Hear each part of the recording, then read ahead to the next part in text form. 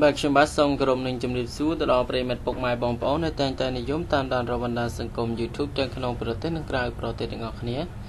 បាទថ្ងៃនេះវិលជួបគ្នាជាមួយខ្ញុំបាទសាជាថ្មីម្ដងទៀតហើយ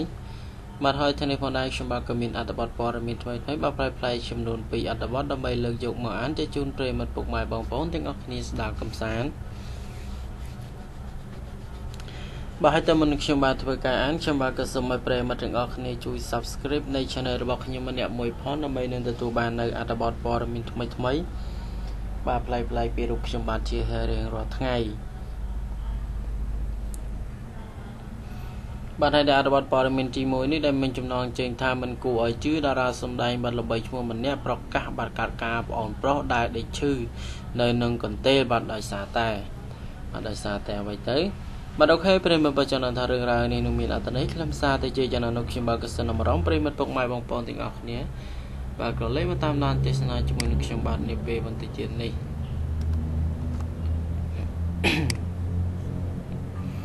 បាទតាមរយៈករណីលោកបាទគិទីបាទឆ្លៀងឆ្លៀងបាទឈ្មោះក្រៅពីតឬដែលស្គាល់យ៉ាងច្បាស់ថាគិទីបាទដាស់ ដាត់បាទសកលអតីតបាត់ទូរងបាទប្រុសជើងចាស់អាយុ67ឆ្នាំនិងជាប្អូនប្រុសអតីតតារាសម្ដែងល្បីឈ្មោះដាមអដាតបាទសកលសកលបាទធ្លាប់ផ្ដល់សភាបាទកាលពីអំឡុងខែវិច្ឆិកាឆ្នាំមុនថានឹងមិនត្រឡប់ទៅរួមរស់បាទជាមួយអ្នកនាងបាទស័កស៊ីបាទប្រប្រផា រងបាទមង្គលឈ្មោះក្រៅបាទគិធីបាទឬផេតបាទភរិយាវ័យក្មេងអាយុ27ឆ្នាំទៀតឡើយជួយប្រពន្ធក្មេងណាអាយុច្រើនទៅហើយ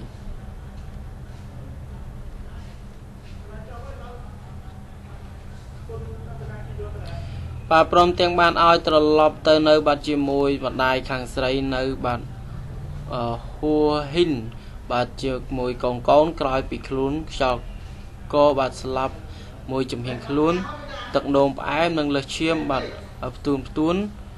គ្នាត្រូវຕົកចោលឲ្យនៅក្នុងផ្ទះបាទមួយកន្លែងនៅស្រុកបាទអាសៃណយបាទខេត្តនន្ទបុរី ដោយនៅខាងក្នុងផ្ទះកងកងវល់ កង្វក់បាត់ពេញទៅដោយបាត់វត្ថុចាស់ចាស់និងអាហារស្អុយរលួយក៏ពេញផ្ទះបាទតែក៏ឃើញថាបាទថ្មីថ្មីនេះបាទថៃអេកថៃអេផាត់បានប្រកាសឈប់ជួយបាទតែអ្វីទៅ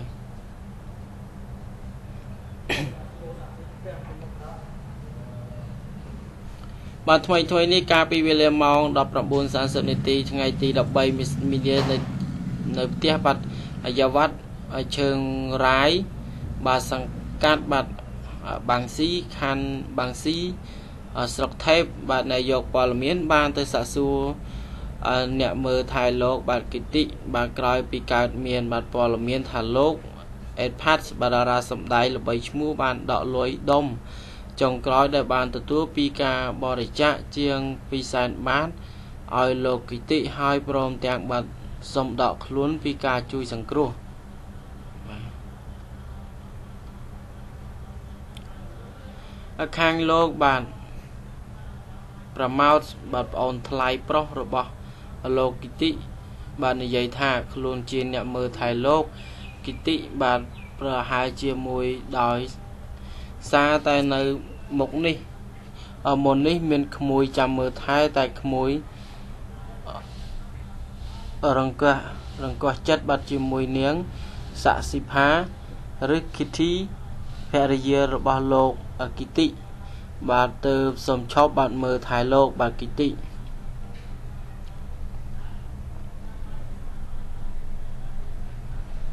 បាទដោយខ្លួនឃើញថារោងអ្នកមើលថែលោកគីតិបាទមិនទាន់បាន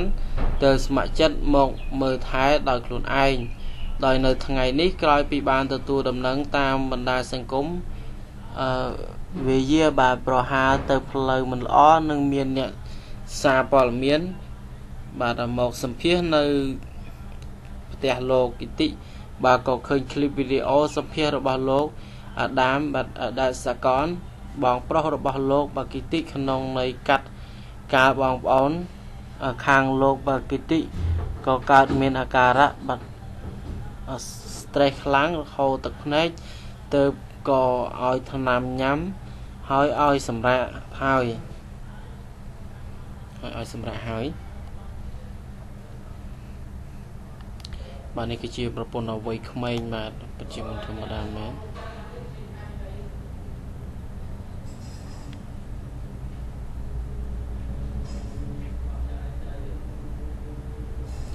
បាទអូខេប្រិមិកខ្ញុំបាទក៏សូមបញ្ចប់អត្ថបទព័ត៌មានទី1នេះទៅត្រឹមហ្នឹងបាទអញ្ចឹងទេខ្ញុំបាទក៏សូមនាំអារម្មណ៍ប្រិមិត្តពុកម៉ែបងប្អូនទាំងអស់គ្នាក៏លេខមកតាមដានទេសនាបាទនៅអត្ថបទព័ត៌មានទី2វិញម្ដង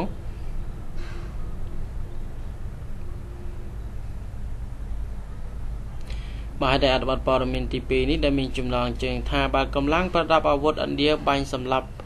បដកោបាទច្រើនអ្នកនៅតំបន់អង្គកាស្មៀបាទ បើចឹងនឹងថារឿងរ៉ាវនេះនឹងទៅជាយ៉ាងណាយើងមកទេសនាទាំងអស់គ្នាអង្គកាស្មៀប៉ូលីសនិយាយថាយ៉ាងហោចណាស់បើមានមនុស្ស8នាក់និងពួកសកម្មប្រយុទ្ធម្នាក់ត្រូវបានបាញ់សម្លាប់កាលពីថ្ងៃអង្គារក្នុងពេលប៉ះទង្គិចគ្នាដោយអាវុធបាត់អឺមួយ អស់រយៈពេលពេញមួយថ្ងៃជាមួយនឹងកងកម្លាំងបាត់រដ្ឋាភិបាលឥណ្ឌាការប៉ះទង្គិចគ្នាដោយអាវុធនេះបានផ្ទុះឡើងនៅភូមិភូមិបាត់ Other Box អសិញស្រីភូមិ Other Box បាទដែលស្ថិតនៅចម្ងាយ22គីឡូម៉ែត្រនៃប្រទេសនៃភាគខាងត្បូងក្រុងបាទស្រីងាកាស្រីបាទណាងកា ដែលជារដ្ឋជាឈានីរដូវក្តៅអាកាស្មៀគ្រប់គ្រងដោយឥណ្ឌាហើយយោងតាមប្រភពផ្លូវការឲ្យដឹងថាបាទមន្ត្រីប៉ូលីសម្នាក់បានរងរបួសក្នុងការប្រយុទ្ធគ្នានៅកន្លែងសង្សងំលាក់ខ្លួនរបស់ក្រមសកម្មប្រយុទ្ធខណៈពេលដែលបាត់ជនស៊ីវិលរាប់សិបនាក់ត្រូវបានបាញ់ឲ្យរបួសបន្ទាប់ពីបានប៉ូលីសនិងទាហានឥណ្ឌាបានបើកការបាញ់ប្រហារលើបាតកោ ដែលជាជនស៊ីវិលនៅក្នុងភូមិមួយ អ្នកនាំពាក្យកងទ័ពឥណ្ឌាលោកវេរៈសេនីឯករាជីអង្កាឡៃបានថ្លែងប្រាប់សារព័ត៌មានបាត់ចិនចិនបានស៊ីនហូថាបាទពលសកម្មប្រយុទ្ធម្នាក់ត្រូវបានសម្លាប់ក្នុងអំឡុងពេលបាញ់តបតគ្នា ជាមួយ កងទ័ពក្នុងតំបន់ហើយឆាដូរ៉ាបាទការប្រយុទ្ធគ្នាបាទ ក៏បានបញ្ចប់ហើយប្រតិបត្តិការក៏ត្រូវបានបញ្ឈប់ផងដែរប៉ូលីសនិយាយថាដើមឡើយបាទយុទ្ធជន ក្នុងស្រុកភ័យច្រើន បានស្រ័យតាមដងផ្លូវនឹងលោក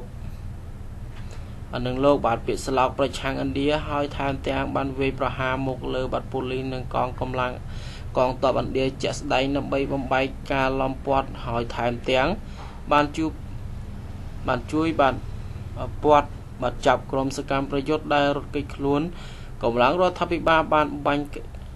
គ្រាប់បាត់ពិតនិងអូសអូស្មានបង្ហូរទឹក បាត់ភ្នែកដើម្បីបំបែកហ្វូងបាតកោទាំងនោះ រហូតបណ្ដាលឲ្យអរំដាលមានបាទយុវជន3នាក់ស្លាប់បាត់បង់ជីវិតក្រៅពីអ្នកមួយចំនួនទៀតរងរបួសបាទអ្នកគ្រប់គ្រងផ្នែកឱសថនៃមន្ទីរពេទ្យបាទ S បាទ SMHS បាទក្នុងបាទសេរីណាហ្កាបាទបានឲ្យដឹងថាជនស៊ីវិល3នាក់ត្រូវបាននាំយកទៅកាន់មន្ទីរពេទ្យរបស់យើងហើយក៏ស្លាប់បាត់បង់ជីវិតចំនួនមនុស្ស17នាក់ផ្សេងទៀតរងរបួសដោយសារគ្រាប់